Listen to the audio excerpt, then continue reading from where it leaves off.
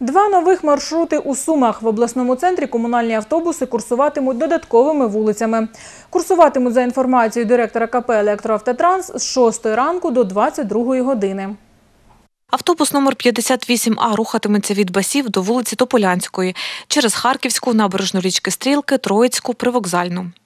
Ще один, номер 64, сполучить добровільно з центром. Їхатиме через вулиці Металургів, Горького, далі на Петропавлівську, 20 років перемоги, Чорновола, Іллінську і знову на добровільну.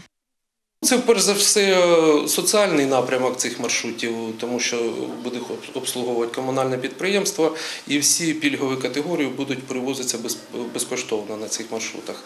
Так, е, звісно, перед е, опрацюванням шляху проходження цих маршрутів ми консультувалися з Харківським автодорожним національним університетом, отримали від них відповіді. Ну і Після цього е, провели комісію, провели об'їзди, про- е, погодили з поліцією.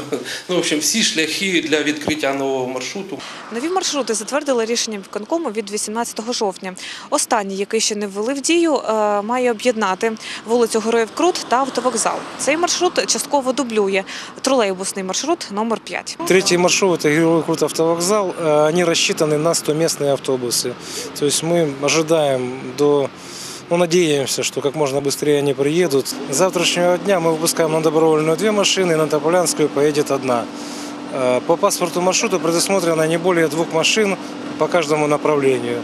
Сейчас мы выпускаем, обкатываем маршрут. Возможно, придется вносить какие-то корректировки. 30-35 минут, ну, около 40 минут разрыв между каждым автобусом. Маршрути, які створюються, це фактично маршрути приводи, тому що на лінії буде лише один-два автобуси. Відповідно, е, це дозволить забезпечити інтервали приблизно одну годину і більше, що не є адекватним для якісного транспортного сполучення. Крім того, ці маршрути створені фактично без е, проведення досліджень мобільності, які влада обіцяла у 2017 році, а ґрунтуються на певних дослідженнях Харківського університету, який створив існуючу транспортну схему, яка довела свою неефективність. Маршрути фактично стануть е, маршрутами, які перевозять лише пільгові категорії, тому що платні пасажири не будуть чекати е, те, що пропонують їм. Тетяна Юхта, Владислав Бурников та Сергій Сурков на часі новини.